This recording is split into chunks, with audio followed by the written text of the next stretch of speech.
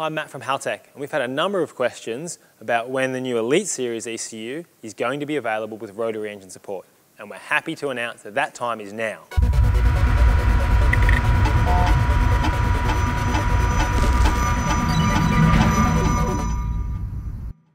Now we understand that rotary engines are very specific and they have some very specific requirements. So we've taken our time to get things right.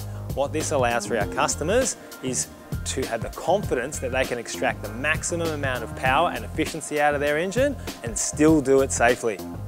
So we have the Elite 2500 and the Elite 1500. Which one do you want to use if you have a rotary engine? And that's pretty simple. If you've got a three rotor or a four rotor, you're going to run the Elite 2500 ECU. If you're running a two rotor, so a 13B, a 10A, or, or even an RX-8, then you've got the Elite 1500 ECU. Both ECUs are still going to allow you to do full data logging. Uh, you run the customizable maps through the new ESP software. They've got fully waterproof case. They do full staged injection. They do uh, rotary split across leading and trailing coils.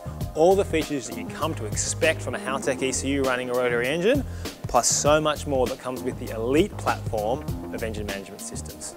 So if you want the most advanced, up-to-date engine management system that has ever been released for a rotary engine, check out the new Elite series from Haltech.